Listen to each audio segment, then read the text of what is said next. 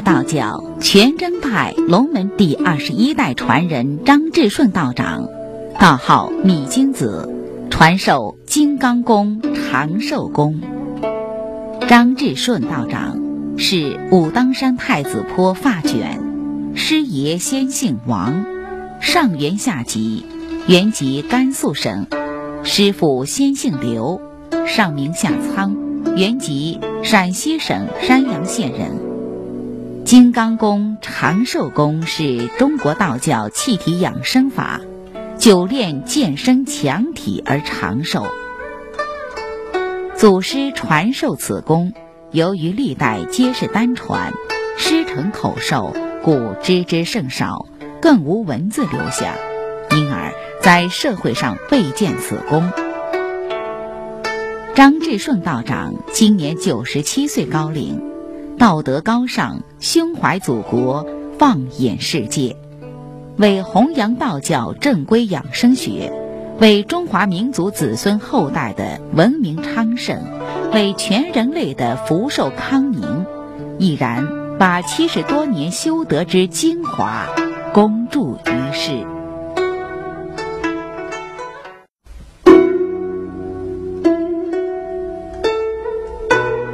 金刚功第一步，哦，起势。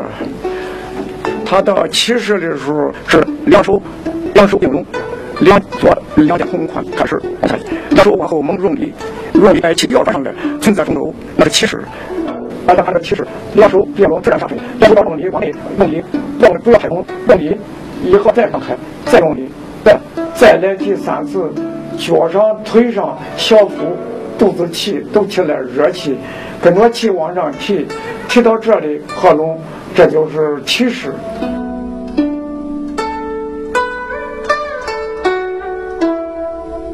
第三焦之气是上焦，在胸以上属上焦，胸部到肚脐为中焦，中肚脐到下部。到腿到脚为下焦，三焦之气中间直通任脉，通督脉，中间有通中冲脉，冲脉从阳桥，从上至阳桥，下至阴桥，从阴桥开始，从中间直冲，从中间一道脉络直接往上通达。中焦那个脉，中间那一个冲脉，从阴桥到胸部，到心脏，直接通过咽喉，上至脑顶，上至天顶百会，下至涌泉，名为海底，一部脉一动，七部脉都动。人身上有一共有八个大动脉，有阴桥脉、阳桥脉，有冲脉、有带脉，还有一切人脉、督脉、阳维脉、阴维脉，一共是八个大动脉。中间这一步虽然说是通冲脉，从阴桥上至阳桥。他这一步脉已经通八个脉络，全部都通，直行为脉，横行为络，说脉络嘛，内通五脏，往外通三百六十五节，八万四千毫毛，它都通。所以这个金刚功，它可以祛病啊，健身。为外八部啊，外八部金刚，它是从外用直力，用刚力，八个大动脉建好，总结起来，金刚功开始了啊！这是起势，把气提上来，归拢到中焦。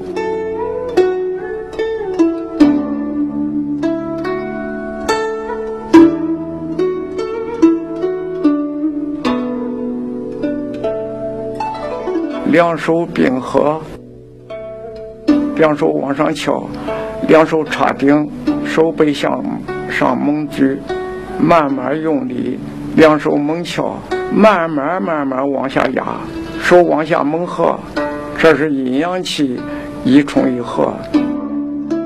再练一遍，往上举到劲，慢慢的走，往上冲要用力，往下合要压，用力往下压，手往下合。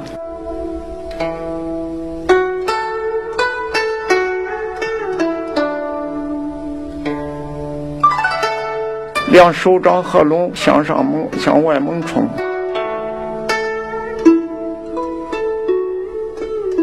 慢慢抻直，与两肩同平。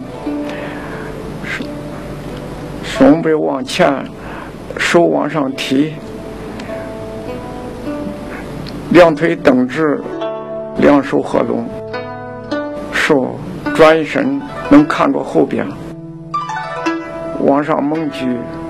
用力，分开，往下慢慢慢慢往下压，手向下，手掌向下猛合。啊，这一合，阳气，手背的阳气往外冲，合拢。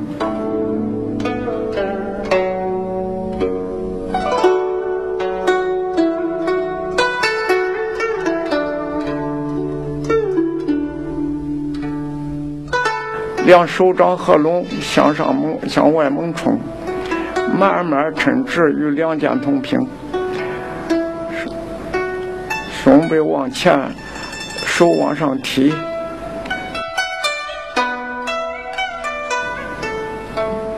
两腿蹬直，两手合拢，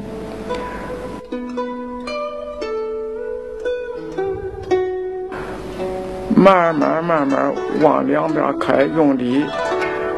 手向下，手掌向下猛合，这一合，阳气手背的阳气往外冲，胸背往前，手往上提，往下合的时候，腿蹬直，身体一直，往上猛提，一合开，慢慢慢慢往下推，两腿蹬直，慢慢合拢，再转。左脚往前大叉一步，两手往前去，手背靠拢，往两下的分，慢慢慢慢的往下分，往外，慢慢的腿后腿蹬，前腿弓，两手合拢，往上猛提，提到肾部的以上，再转，左脚往前大插一步，再慢慢开，往后合，啊，往上提，分开。往下慢慢慢推，两腿蹬直，身站直，合拢。动作要慢，要用力。运动的时候不要急，慢慢的运动。啊，每一个动作要用力。关于练几遍，顺其自然，至少练五遍，最多不能超过九遍。每一个动作。要稳定，慢慢的，每一节动作都要用力。左右换脚也是这样，转身是一致，也是一样，转身或换脚也是一样。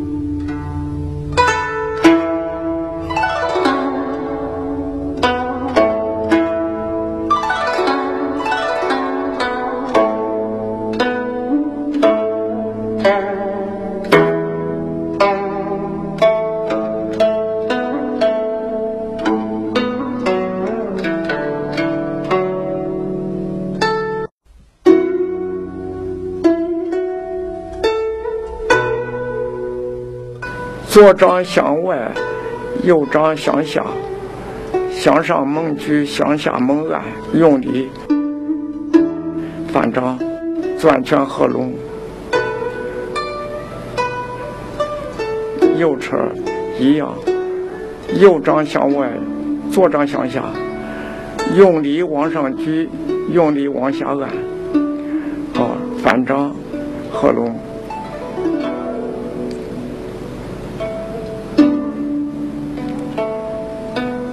这么慢慢的练，啊，左掌向外，右掌向下，向上猛用力举，向下用力按。向上举的时间就像举一个千斤重，往下按的时候就像按一个猛兽，用力。到顶以后，手上下猛一翻掌，哦，攥拳往下来。但往下来的时候，就像坠一个东西往下用力往下坠；手往上提的时候，就像提一个很重的东西往上提。开合一定要用力。再看练要慢慢的来，要用力往上举，擦着耳根往上举，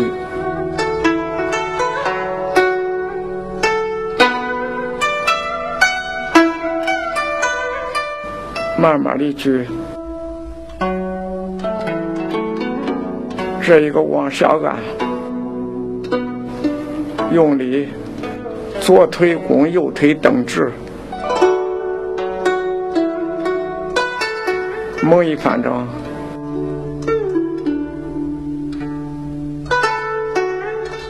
在右边，右手向手掌向外，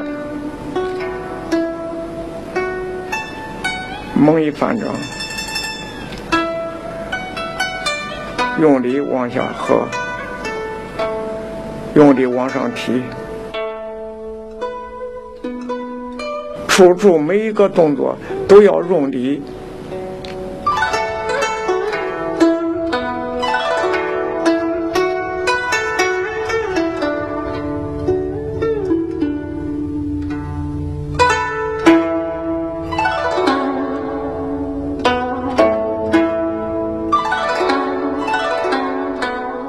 手翻掌要快，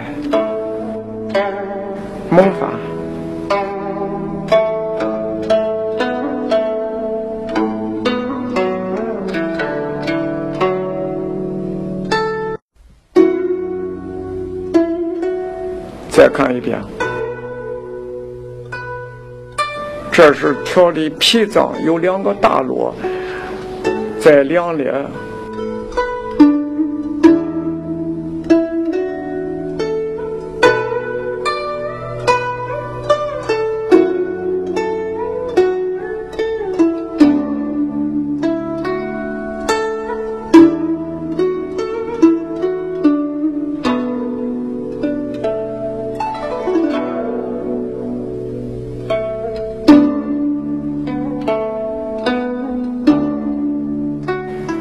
调理脾腹需单举，脾就是脾里腹外，有些脾里腹外居住的东西，吃药都不好治。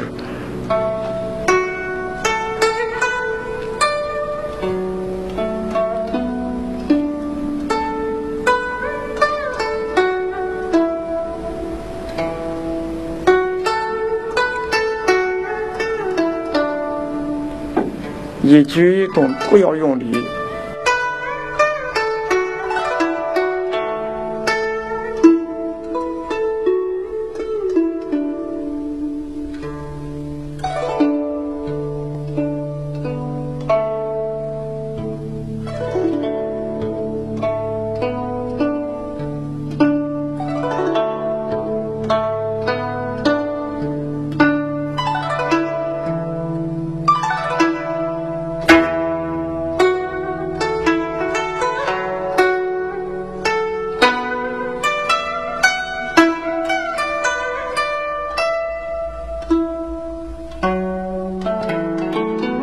两周。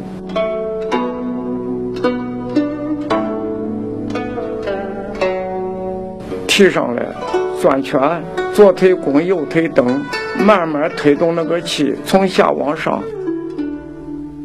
平衡手就像拉弓是一样，用力拉，猛翻，猛一伸手就像箭头往外射，提，转圈。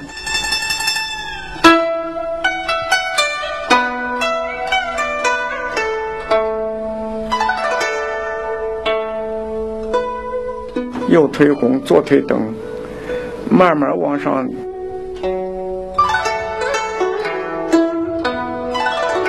转弓弦，往上拉，用力猛翻。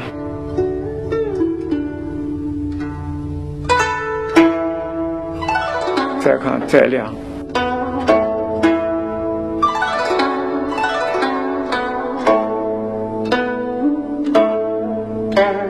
要用力转。转圈儿，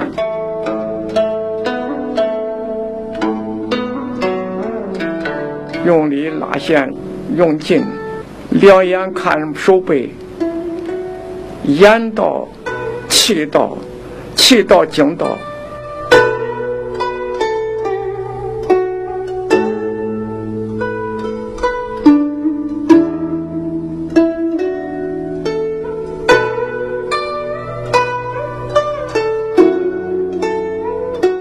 你看，在放的时候，手猛翻，就像那个箭头往外射，那个要用力，猛翻，就像那个箭头，嚓一下子往外射。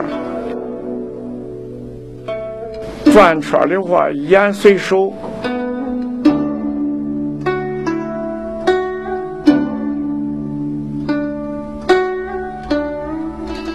用力拉，手往后张，胸部展开。猛翻，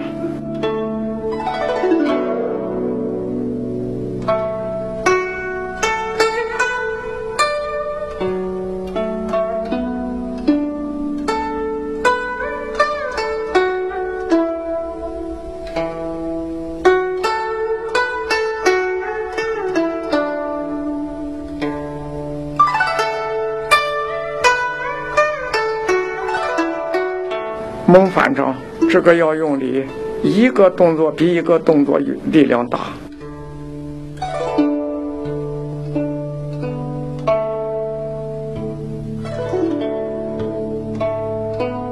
眼睛已经看到手背，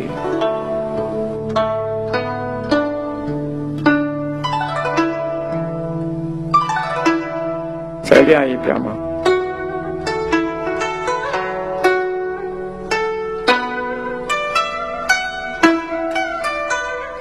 要脚站稳的。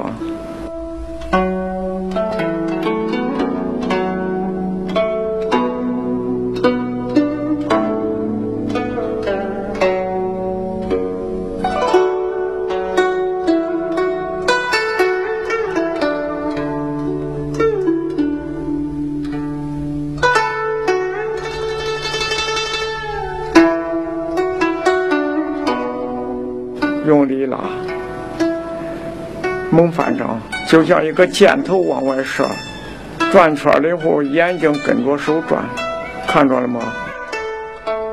要从上往下慢慢的平衡，手掌是半平，猛翻掌，胸部要展开。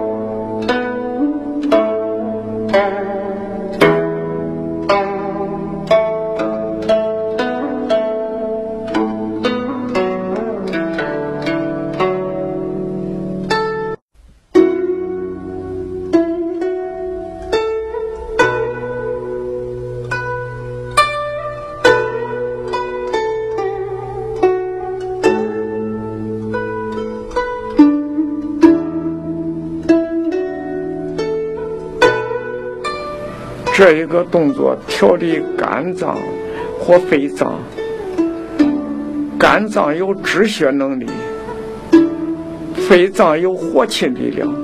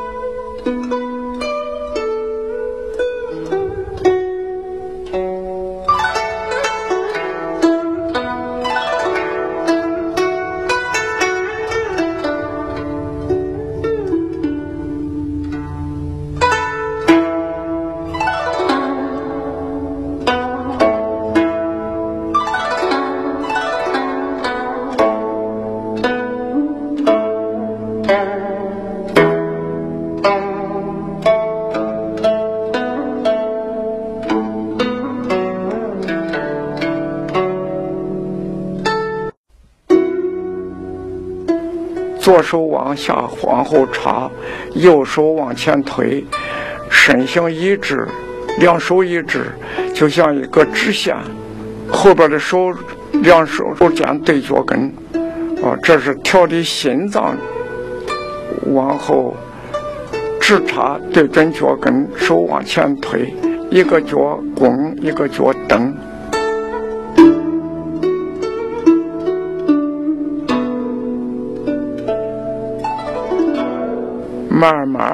往下，哦，眼睛已经看到后边的脚跟，眼到是一切的气都到了，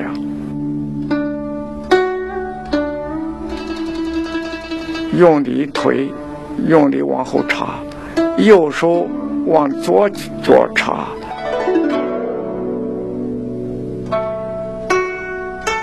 左手往右脚插，它是交叉的。人身上的气脉是交叉的，慢慢慢慢的手分开，一手往下，一手往上，推动全身上的上气力上下往外冲，收的时候把一切的气往内合。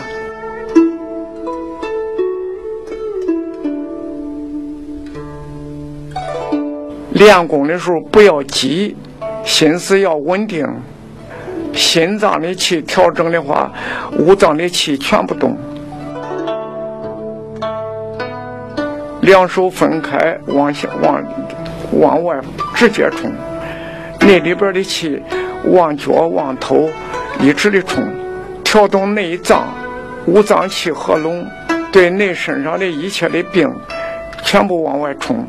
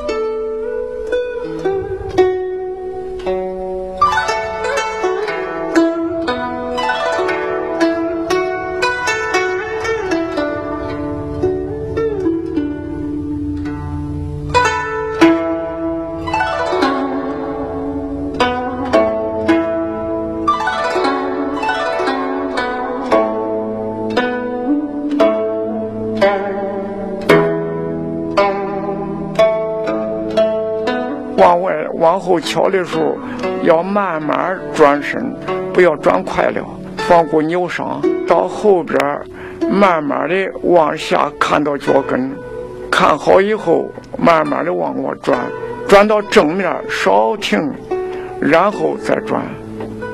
两手交叉往下按拢，慢慢的往下往后转，转动扭要慢。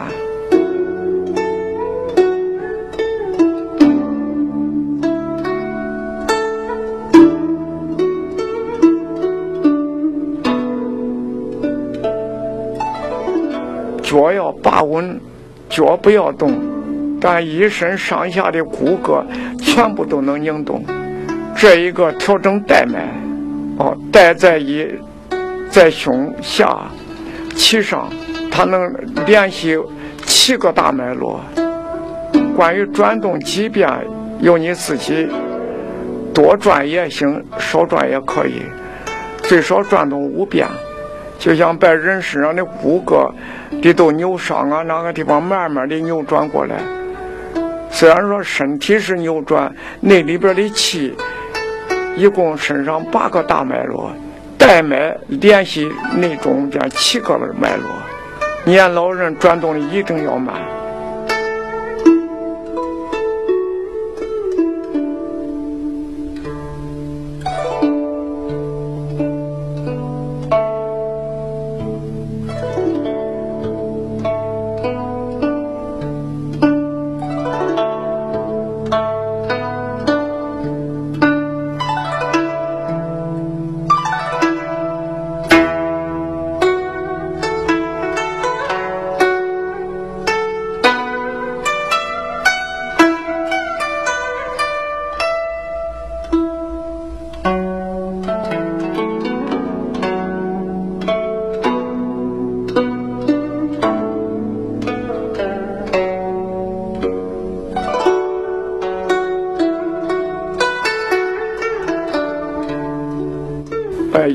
气合拢，都合到中轴，合到中焦，慢慢慢慢的，五劳七伤啊，七情之伤嘛，九行伤筋，九里伤骨，九坐伤血，九睡伤脉，九思伤神。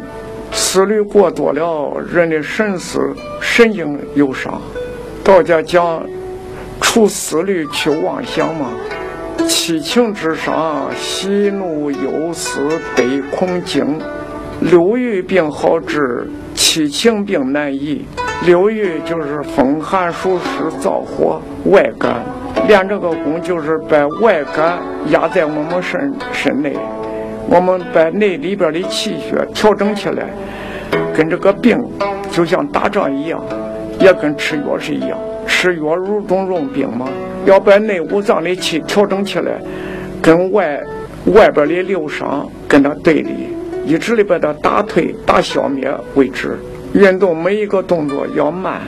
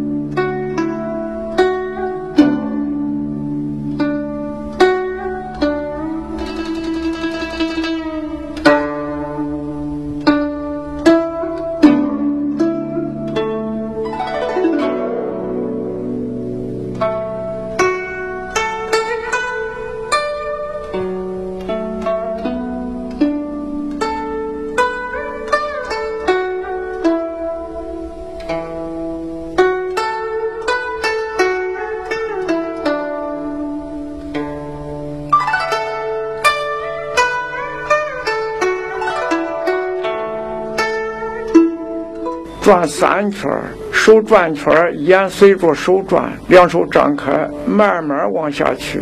凤凰点头，这叫凤凰三点头，一起往上转，慢慢的转，不要急，全身上的筋骨都动，一身上的力，八个大脉络一起动了。但年老人不要求手端挨地，慢慢的手，总要小心，不要把身体扭伤。看这，慢慢的运动啊。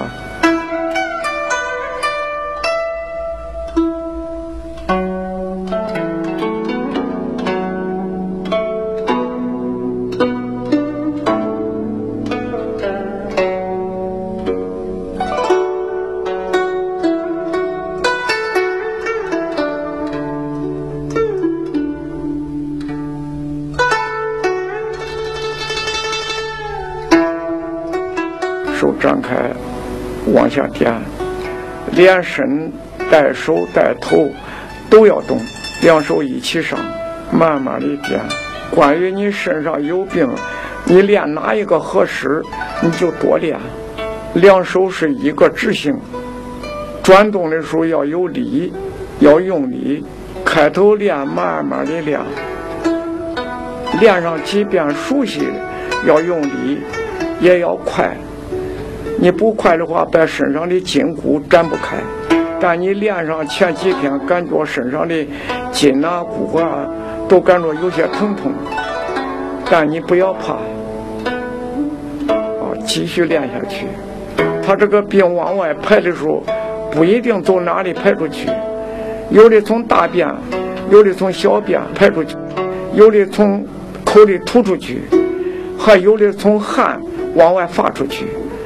他不一定从哪个地方把病往外发，但发现那种情况不要害怕，继续练下去，不要停。他也跟打仗了的，你打到最激烈的时候，绝对不能停，还不能退，把这个病一直的退打消、消灭为止。不管那三个月、两个月练，他不出毛病。练功练不上三天，你全身马上都感觉。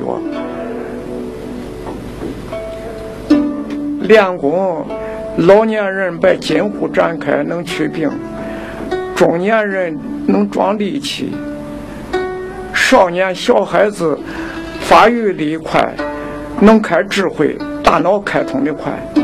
他不是光治病，老年人练这个动作一定要慢。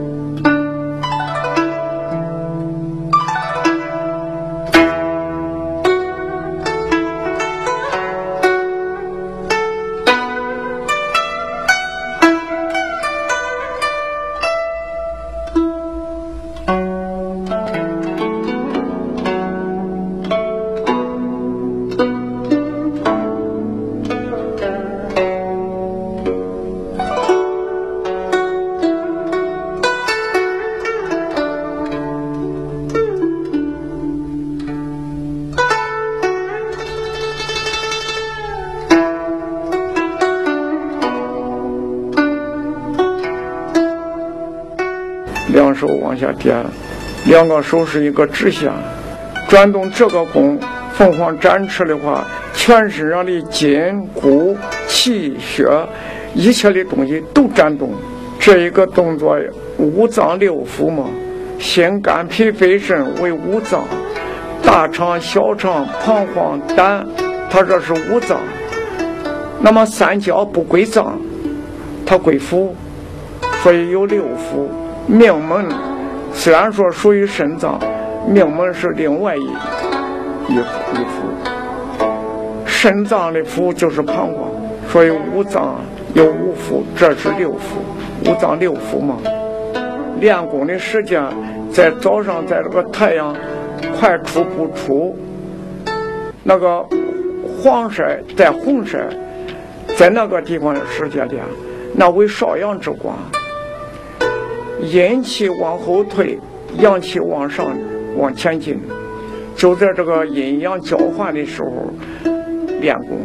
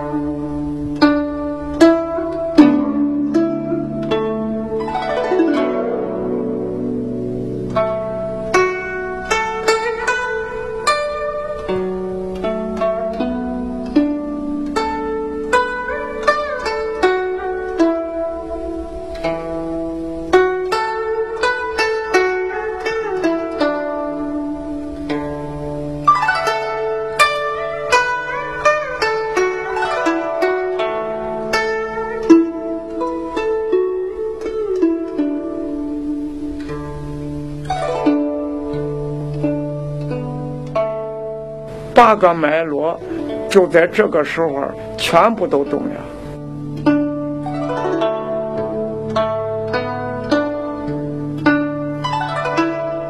脚尖吃力，脚跟往上提，练习这个动作，两背靠紧，牙要箍住，手势从上分开往下，慢慢的。越慢越好，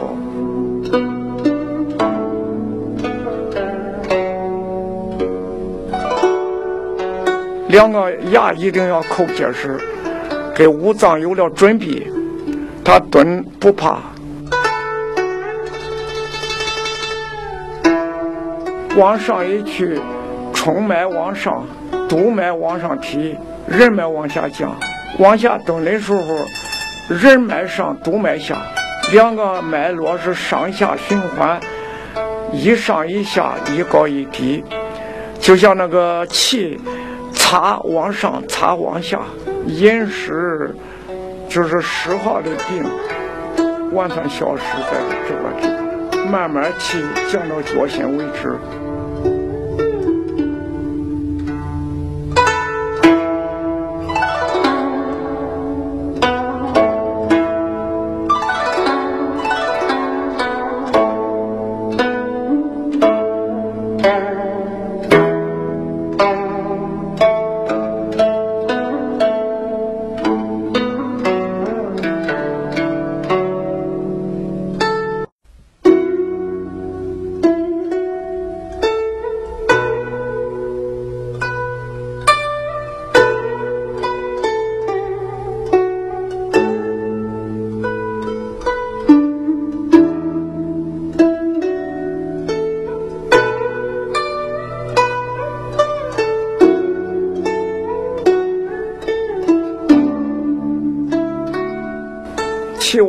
降的时候要慢，你快了那个气跟不上，就像一身的热气顺着一身往两个腿，从腿上能感觉有很大一股热气往下走，一直的下到脚心为止。脚心是涌泉穴，也叫肾脏的海底收功，从下往上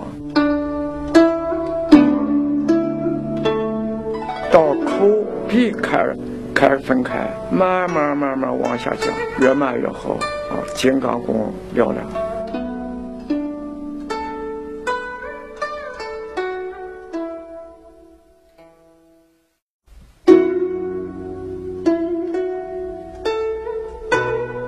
大家都很好啊。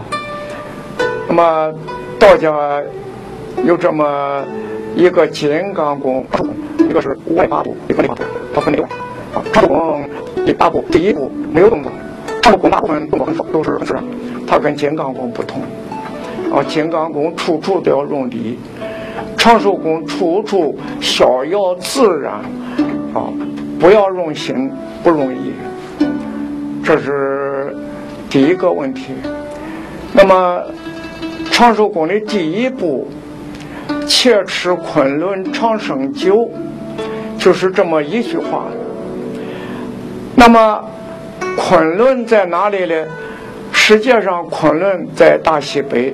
那是最高的一个山，在我们人身上就在头部。那么昆仑山下一清泉，就是说这个泉是在哪里？是在我们人口内这一个泉水。他这个切吃昆仑长生酒，他这是第一步说辞。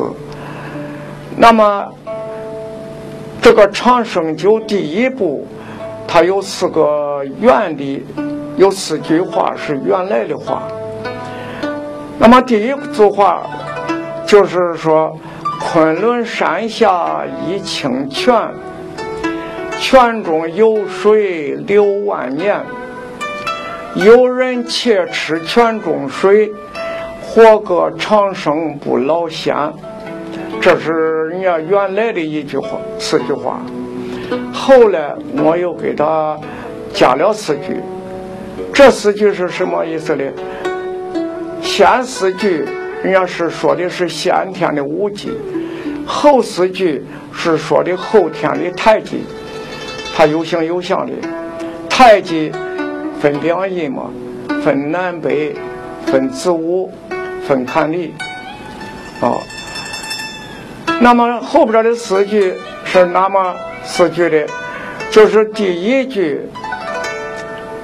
龙戏九江水，虎登万重山。阴阳交换处，国内开百莲。”这四句跟前四句不同了。先四句指定地方。那么昆仑酒，且吃昆仑酒，昆仑就在我们人身上最高的一步，就是头部。头部半山中间有一个泉水，这个泉水在我们口内，口吞日月。那么一个口，把舌头往上一顶，刚是那个口子里头。横加了一道，那就是个日头的日子。那么月亮在哪里呢？月属于肾脏之水，我们的牙上下都属于肾脏所管，肾脏发发源的。那么月是半月西南，西南月宫嘛。那个月就像我们这个牙齿，那么像半个周围。啊，牙是处于肾脏，啊，所以昆仑是什么？那么这个长生酒的，那么就是这个舌头在口里头把口闭住，啊，上下搅动，搅的什么时间有了口水了，慢慢慢慢一点咽，啊，没有口水不要咽，咽的话恐怕起火，喉咙疼。哦，有了口水，慢慢的咽。那么口水过满了，不要大口猛咽，那么一点一点的咽下去。咽到什么地方，你眼睛往后看，往那边看，他说闭目养神嘛。那么这个眼睛往那一看，能看到这个水送到下丹田。他们都讲下丹田，下丹田就在这个肚脐以下一寸三分处，哦，咽到那里，那里是什么地方？就是老君爷的八卦炉，大家都知道《西游记》练孙悟空就在那里练，哦，那么送到那里，他自动的把这一切的病啊、周身的病啊送到八卦炉，用那个火把它炼化，炼化它。从哪里往外出去不一定，那就看你的病在哪里，看那个应该他从哪里走，他是自然的，不由得你。有的是从大便里排出去，有的是从小便里尿出去，还有一些人练到必要，他这个病在上部消不下去，它只有从上边口里吐出去。那么治病都知道，汗吐下消，温清补火，啊，有的是发汗发出去，它有四个动作，啊，不一定它在哪里排出去，啊，长远了，它能把你一身的一切的病能全部消化。关于这个，就是这切吃昆仑长生酒这一步。呃，确确实实治好过两个肺癌，是他们不能好的病，我就跟他说，你就用这个舌慢慢慢慢的搅动，搅动，病在哪里，你心里想着就在哪里搅动，时间一长，你往里边看，就好像看着那个舌头在那里边动，啊，哪里有病就在哪里嚼，嚼出来口水咽到丹田，咽到下边气海穴里，它自动的消灭你一切的病都能消灭。它有多大的力量，那我不知道啊。那么究竟这个外八部或内八部合作起来有多大的力量，说不了。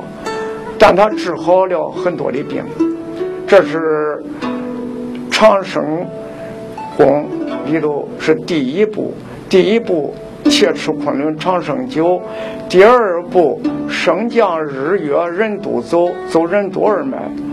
那么第三步内转太极行八卦，把周身的一切的气血都在八卦里头转动。啊，第四步就是大转逍遥落无忧。这个逍遥是什么呢？人家大家都知道，哦，逍遥一点红。那是太阳快落的时候。那么第五步，大雁腾空降吉祥，它是在太空的画像啊。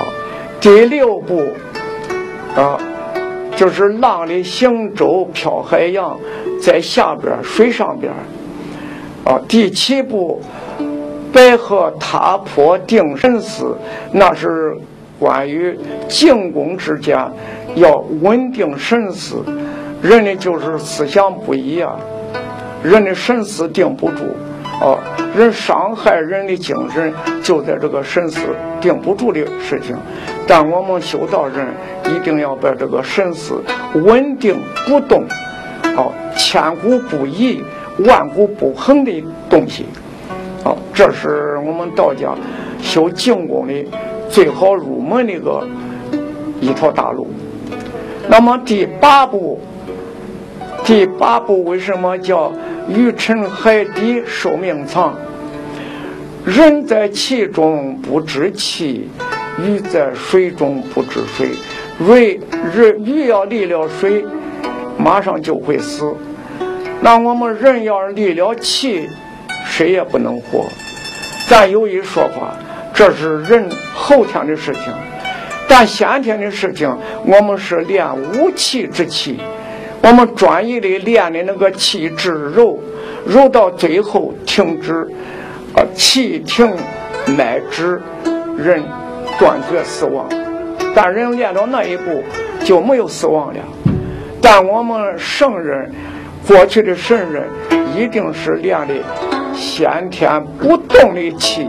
现在人好多都要练气功，他就主要的气，那么气越练越麻烦。所以我们大道不是这样子，人家练的是先天的不动的气，人现在都是练后天呼吸之气，呼吸之气属于后天，不属于先天。先天在母腹的时候，气血。一切的东西全部停止，没有呼吸。那么他的呼吸从哪来的？就是母亲昼夜母呼吸，往来通我血。十月胎在腹，能动不能言，就是在这两句里头的。那么先天的八卦都没有气，啊，这是啊。那么金刚功。在外，长寿宫在内，专一的练柔。金刚功，处处用周身的金刚之力排除外来的病气。啊，长寿宫，我大概就是说这么多。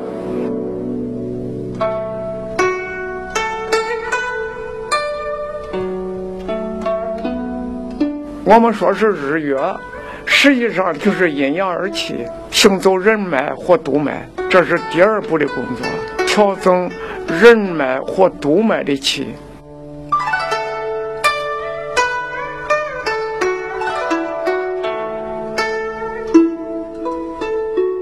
上下循环，啊，两手往内转，前边往内转，慢慢的，长手功不要计数，是自然的。你要是一计数。心脏的话有了拘束了，它不自由。你不记它，你想怎么转动作，你看标准。你怎么转动，快与慢，由你自己心里想怎么着。长寿功顺其自然。常常大家都知道，哦，道法自然嘛。长寿功就是打坐的入门。修静静功的入门，慢慢的转，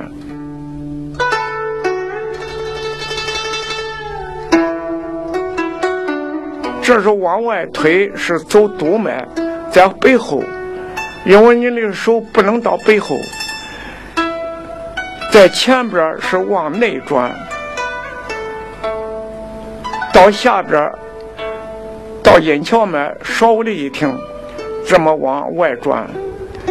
啊到上边百会，到阳鱼脉、阴鱼脉交叉的地方。关于转几遍，你慢慢的转，你转几遍都行，不要计数。你心里一计数，你只顾的操心计数去了，把身上五脏的气控制了，不自由。这就是一个自然，顺其自然嘛。不要用心，也不要用力，到头顶一停，再往下转。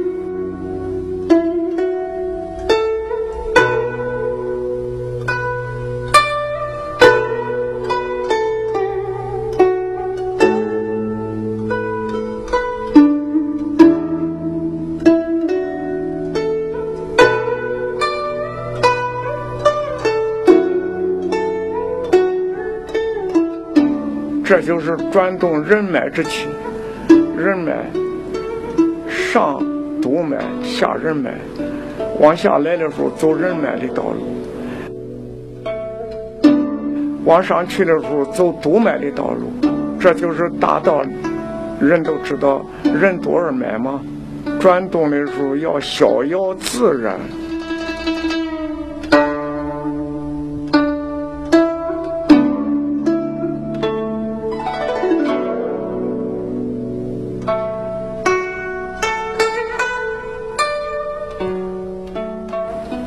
就像那太阳从东升，月亮从西降。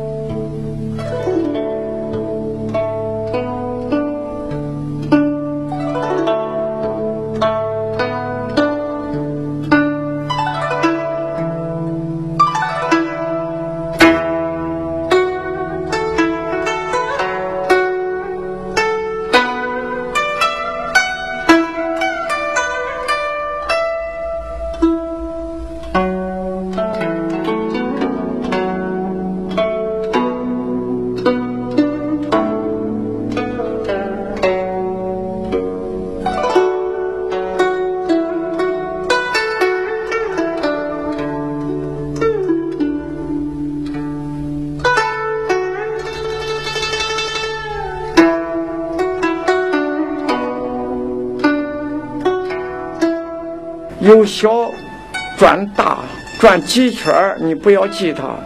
转大以后，慢慢的分开，转成两仪。两仪就是后天的八卦，太极。太极分两仪，两乳房为两个太极眼，从中间通过，就走的是那个太极图的形式。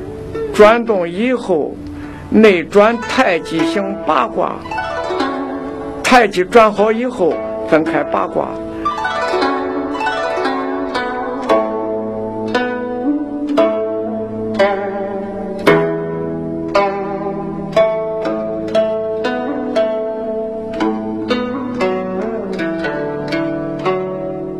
这么样子推，这是一卦，上来是第二卦，下去这是第三，往后这是第四，再推动是第五，上来第六，下来第七，转后第八，转动这样子是以头为太极，这样子转为心为太极。前后分八个动作，这是第一个动作，第二个动作，第三个卦，上来是第四个卦，左边四个，右边四个，一共八个卦，八卦分八方，人身也分八方。头为一方，身为一二方，前后为两方，四方，手脚分四方，两手分两个斜方，两个脚分两个斜方，所以四面八方。人身上八方你要知道，一举一动这个动作越慢越好。就像在一个大火球里头转动，冬几天你慢慢的练，它不，它不不冷。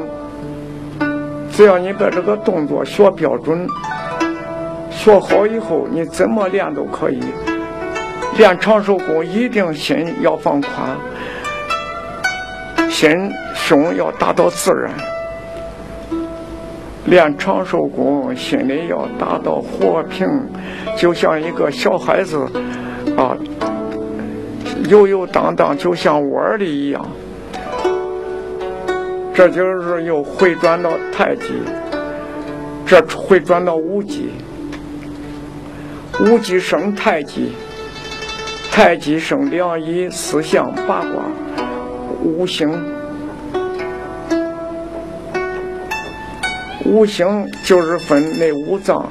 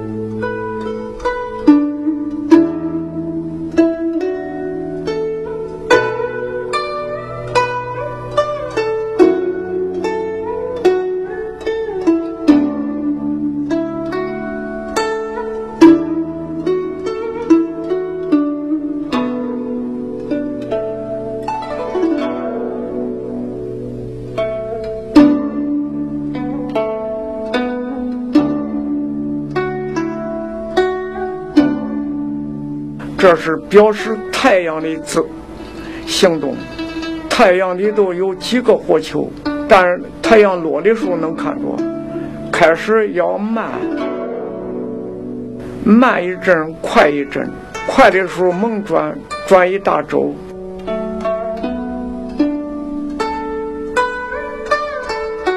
慢，心里要放；快了，稍微的一紧张，快慢都要要求自然，慢慢的转动。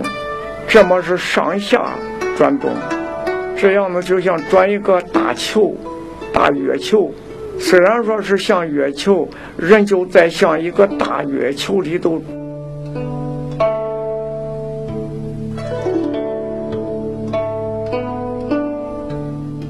转三周、五周都行，慢慢的又转到转回平衡，慢慢的又快慢不要计数，左转也好，右转也好，练长寿功要求大自然。转圈老人要站稳当，不要急，就像一个大月球在我们身外自个转动。练这个功越慢越好。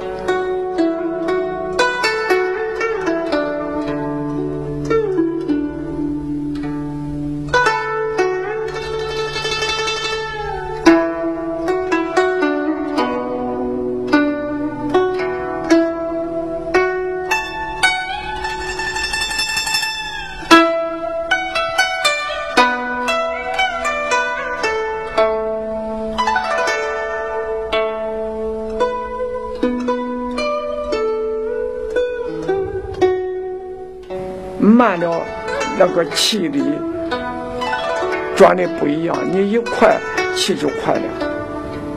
转动这个三百六十股节，八万四千毫毛，内五脏、经络，全部一切的话，大自然都能行动。外边的动作能看着，内里边的气转动你是看不见的。人身虽小，暗合天地。虽然说我们这样的动，已经跟随着天地的气，慢慢的周动。人在气中不知气，鱼在水中不知水。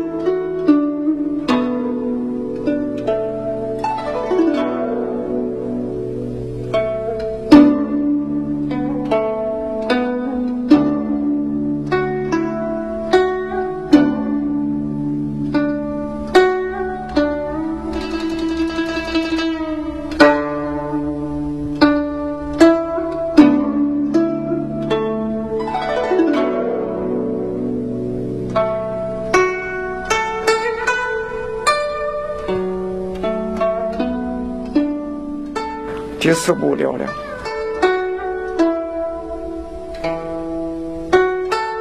第五步、六步，我教我的学生啊，慢慢的演下去。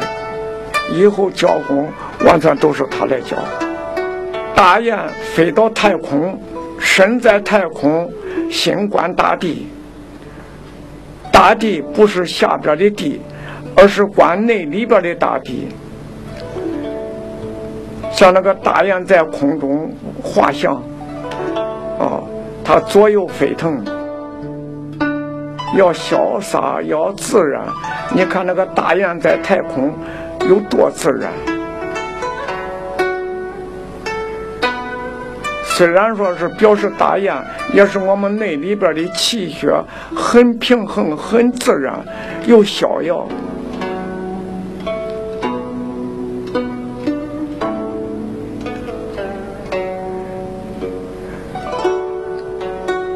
虽然说表示大雁，内里边眼光往内里边看，头为天，身为地嘛，要往大地里头看，要往内里边看，内里边活动。虽然说他两手张扬活动，实际上内里边的气一高一低，一山一动，它是表示那里边的气。慢慢的降落，哦，下来，这是表示大雁的尾巴还会转到原位，会转到中轴。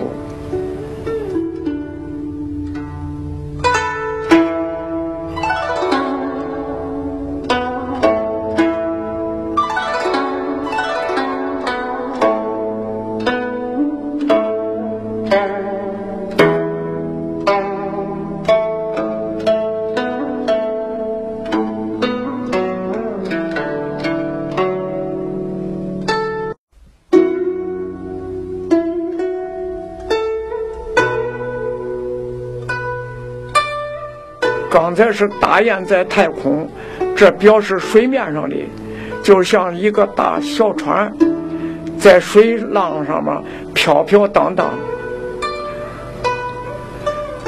舟摇摇以轻扬，风飘飘而吹衣。人在船上，心在太空，石落在水面上。人的很逍遥，很自然，把一身的气在上下飘动活动。它跟金刚功活动不一样，金刚功要用力，长寿功是用逍遥自然之气。这就像表示两个橹在小船的两边滑翔。就在那个风飘、吹动、水海水一高一低，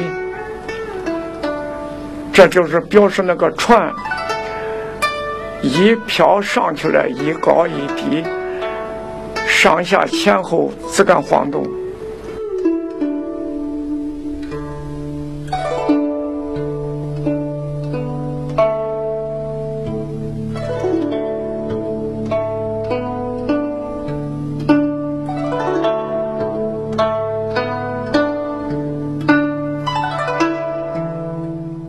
看他这个表示这个自然多优美多自然，人心在船上坐住，一高一低啊，人心里很舒服。人心自然，人身体舒服，百病俱消。这是表示两个橹在划水，这又表示船。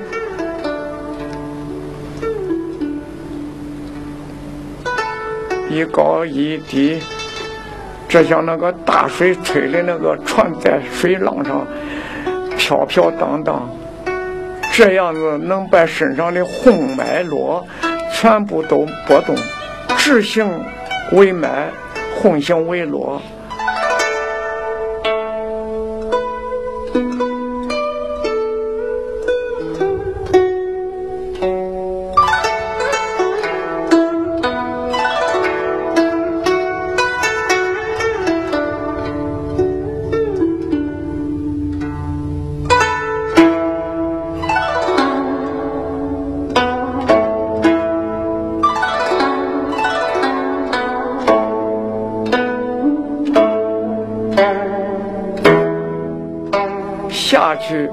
在脚上、腿上、下部、下脚，它一上去表示上脚的东西，从头部一直到中部，上中下三角收拢，还收回到中脚。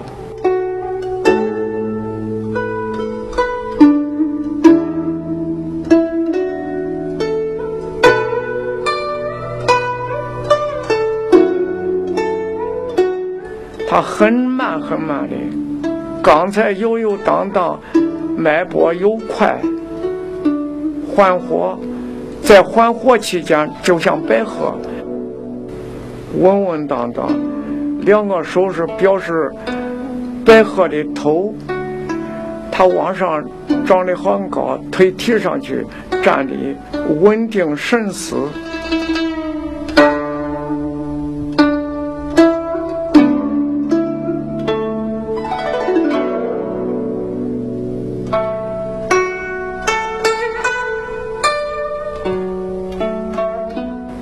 就像那个白鹤腿提起来，一只脚站住，定住神思，踏水很慢，表示白鹤踏水，而是内部上下水火交换。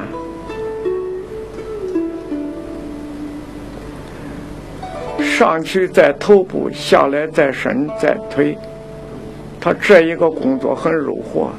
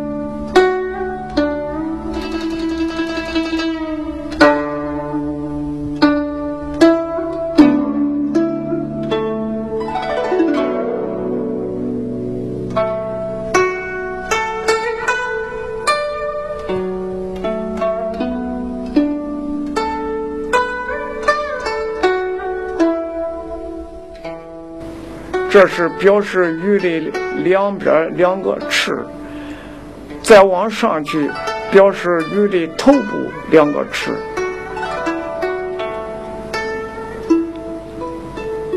慢慢的升到南海水面上，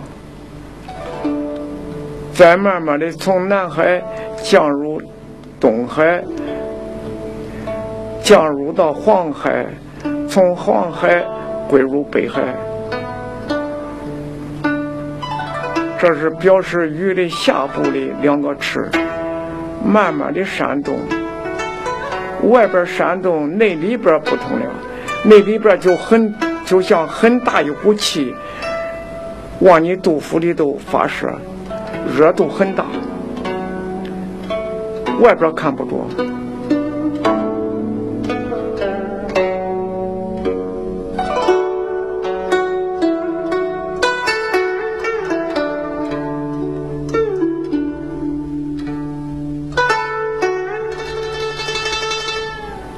你到上边就等于上部，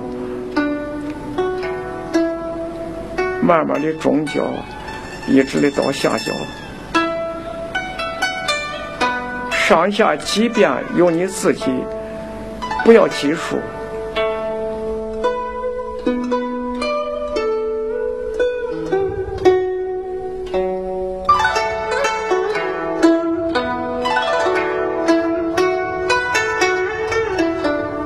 这已经到了上部了，到南海。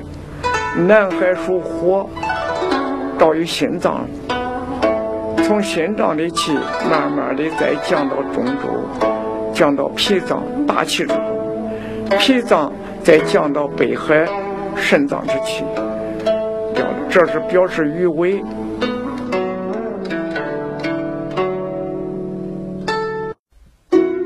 再练一遍，那么看一看。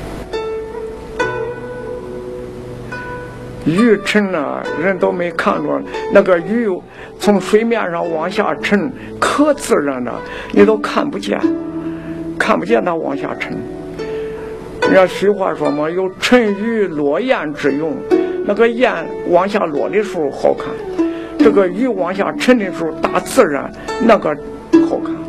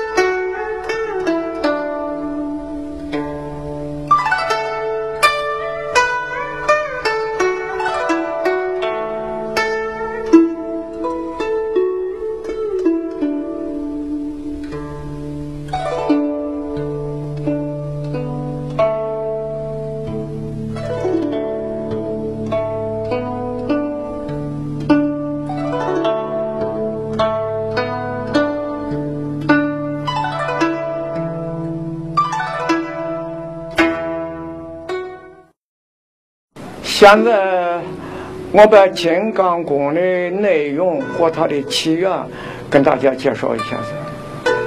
金刚功从我师傅教给我都是单传，但我师傅他把是我师爷教的，我师爷是湖北武当山太子府的呃主教，我师傅是在陕西山阳县大山沟山但我师傅教给我的时候是在陕西华县，就是现在的华县，啊，古代的华州。哦，三国的张飞在那儿，古城就是那个地方。那么交给我的时间嘛，那因为我本身上也有病，所以把这个金刚功先交给我。哦，练的不到两个月，我本身一些的病消失了。我大概把这个第一步，哦，第一步，两手插顶立三角，它是调整三焦之气。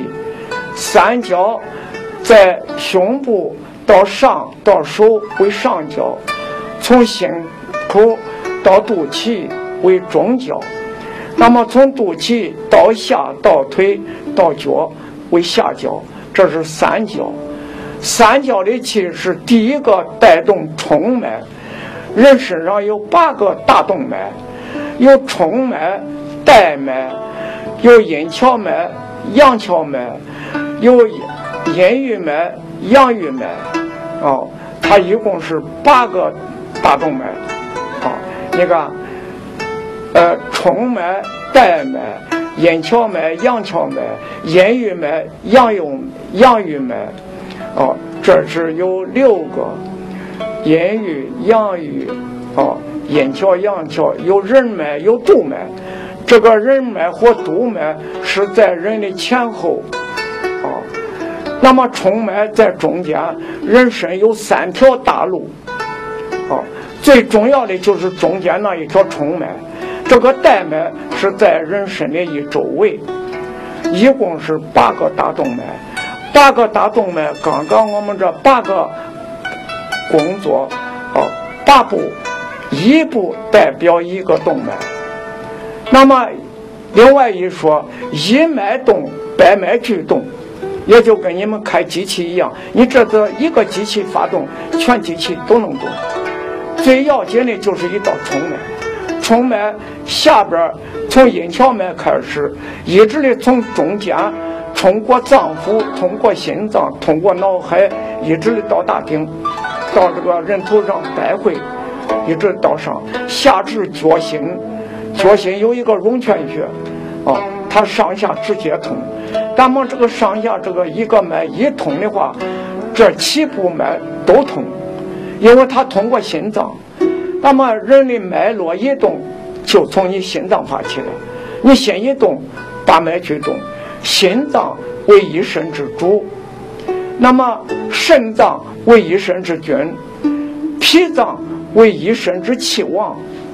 这三个大脉络一动，你要知道，我们出家修道人也是这样，主要练的这三部大脉。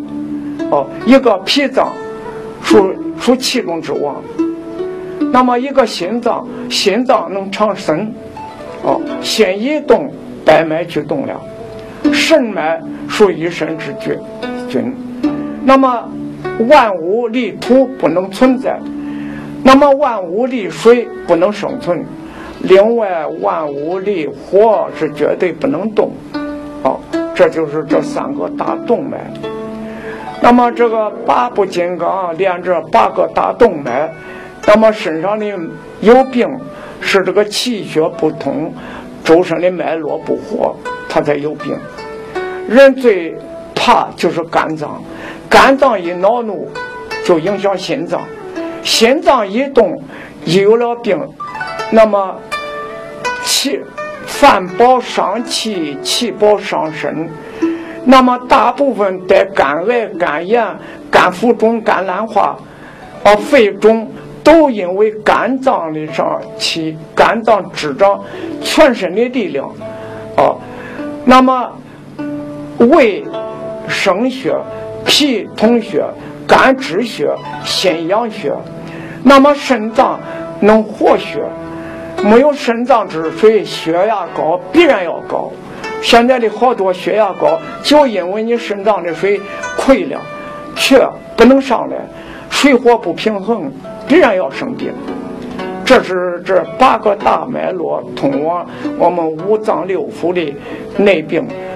通过七经八窍，啊，我们两个手属于上斜，那么一个属于东南，一个属于西南，那么两个脚，一个属于东北，一个属于西北，那么四大正的，就是南方属火，北方属水，东方属木，西方属金，那么中间属戊土。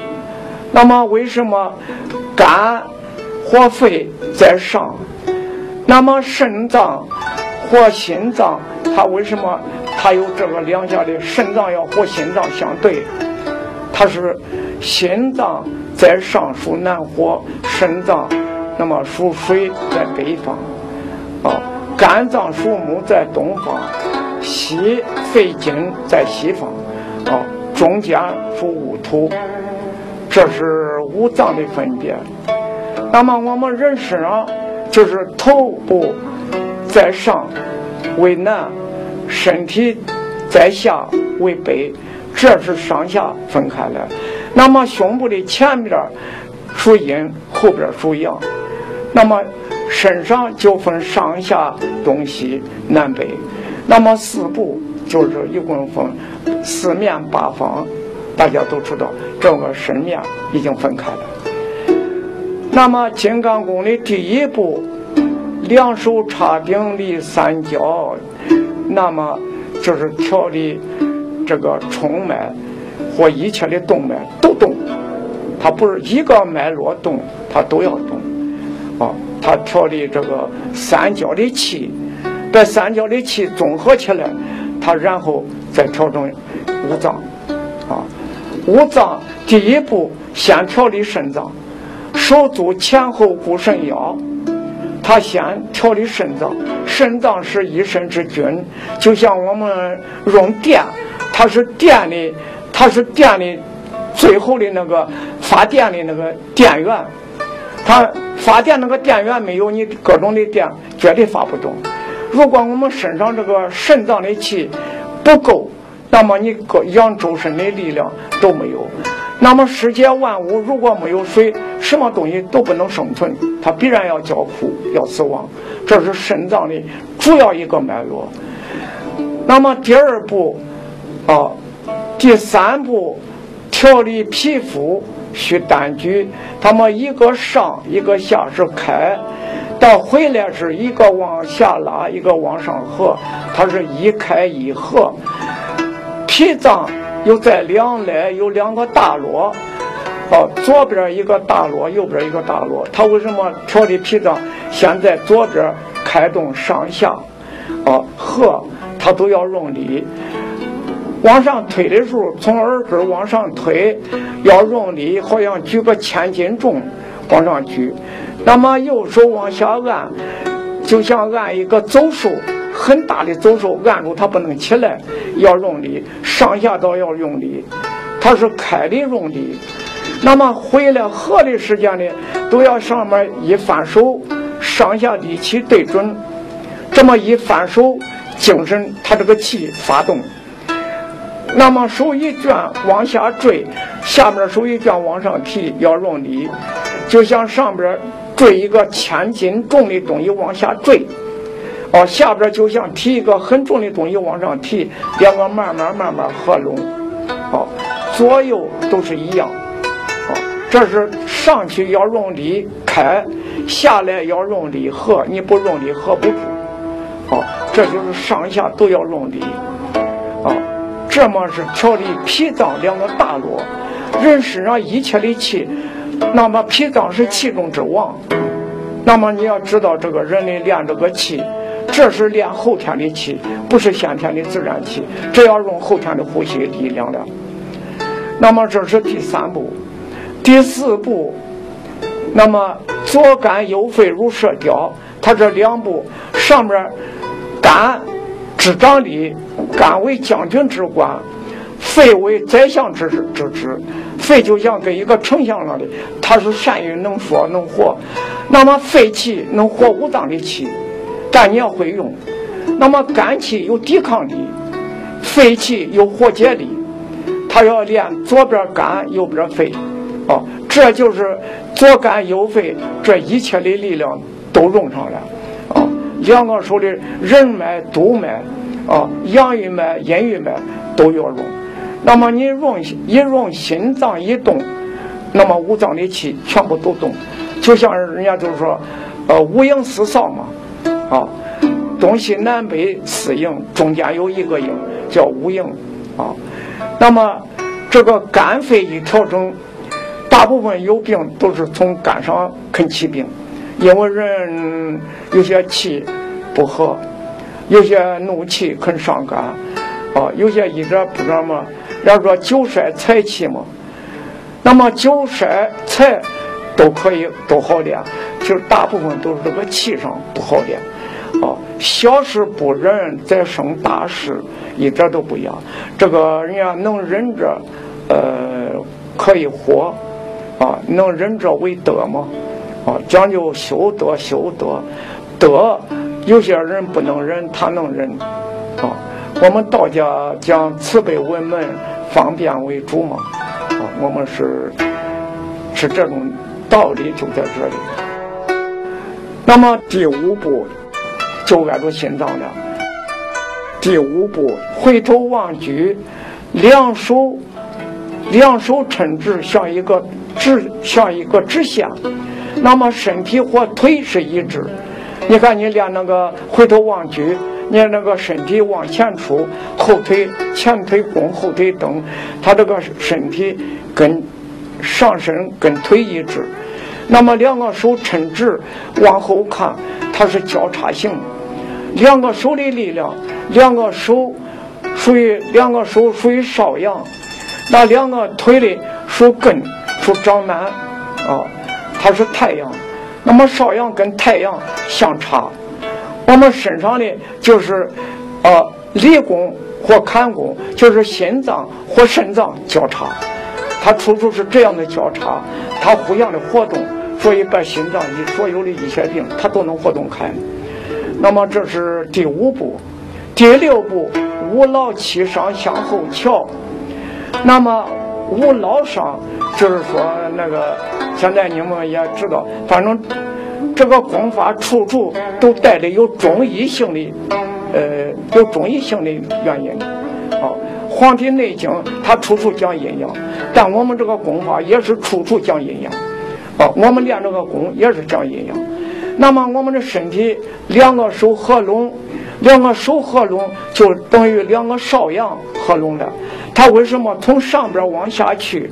从上边先跟口，口，那么是西方妙女，一个少女，少女属于口，属于对宫，对为西方。好，他先从上边，从口往下，把这个气往边推到中轴，好，然后再两个腿用力，人身体往后拧，这一个脉搏是带动身上的带脉，带脉就在这个肚脐一周围，啊，外边一周围，内里边它刚通七个脉络，通任脉、督脉、冲脉在中间，它也通，啊。那么金刚功的第七步，啊，凤凰展翅，周身力。那么凤凰大展翅，全身的筋骨、力量、气血、五脏、啊八脉一起动，啊，把全身上的力量全部拿出来了。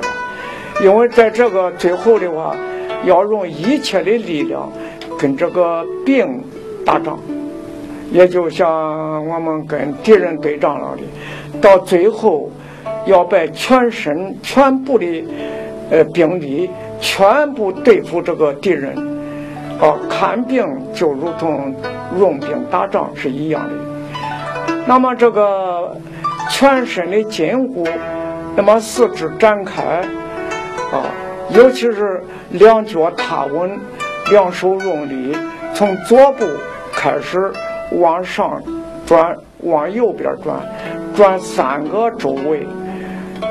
这两个周围是一分阳，二分阴，在天地阴阳之气内里边，坎里五脏的气全部调动起来，在头部分开，啊，两手岔开，两脚岔开，啊，那么先往从左往右，先往右。转，啊，往右转，两手，左手在上，右手在下，两个手分开了，分开，前头一个，后头一个，前面一个，左手往右脚点，那么右手在后边往上走，上下，上下结合，也就像凤凰的一个翅膀，前面这个翅膀往下落，后边的翅膀往上走。那么点三点，这个三点就代表精气神，就代表我们身上就是一个人脉、督脉、冲脉这三个大脉络都带动，好，带动我们人身上的气气力，好，完全点下三次，然后上来两个手一起上，就像两个膀背一起开动，往上，从右往上往左转，转上三周。好。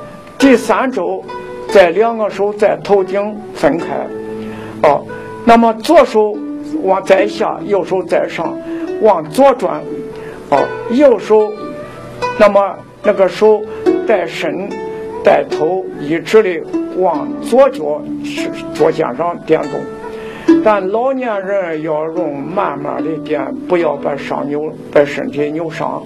慢慢的点，那么你的手是不会挨住地，但嘛一点一点的会到最后能会挨住地，因为你身上的筋骨都展开了，啊，这是一个大的运动，大的运动呢，就比如我们身上，呃，那么五劳七伤啊，一切的病啊，都在我们内部，怀有什么病，它都能打开，因为它全身上的脉都动，啊。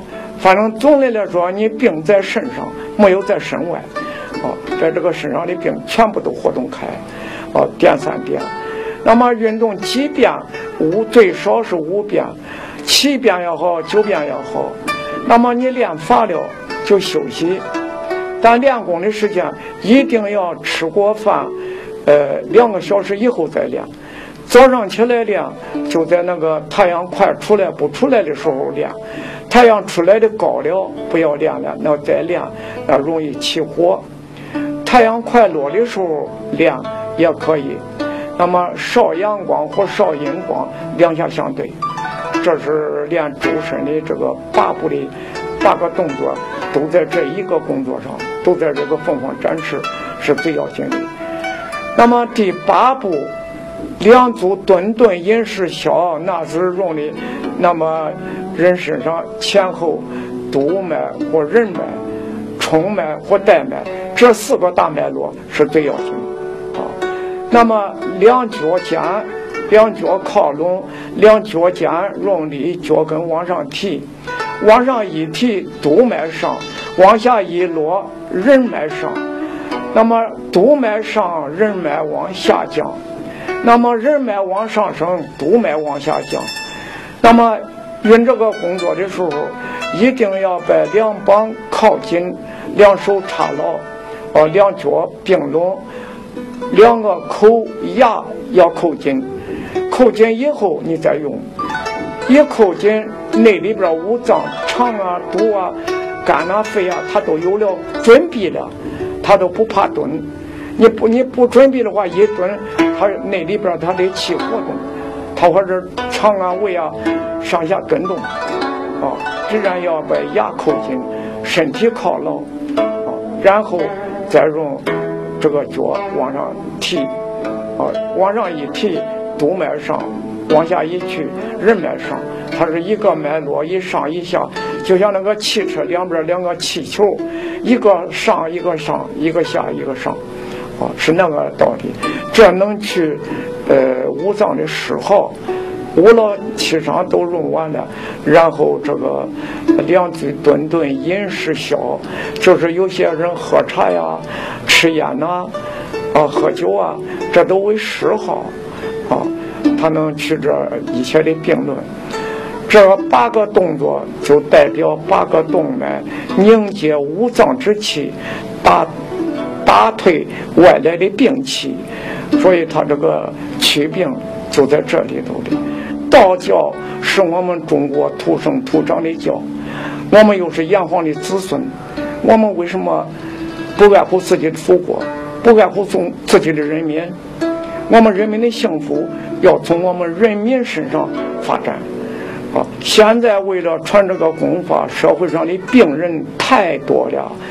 过去有一句话，啊，过了九月九，大夫高超手，大夫根本没有病治了。